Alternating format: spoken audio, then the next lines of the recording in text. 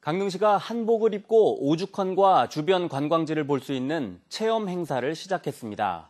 강릉시는 오늘 오죽헌 주차장에 한복 체험관을 열고 관광객들이 전통 한복을 입고 오죽헌을 관람할 수 있는 체험 프로그램을 오전 10시부터 오후 5시까지 유료로 운영합니다. 이와 함께 오죽헌 주변 명소 10곳을 둘러보는 인생샷 SNS 해시태그 달기 등 다양한 이벤트를 마련합니다.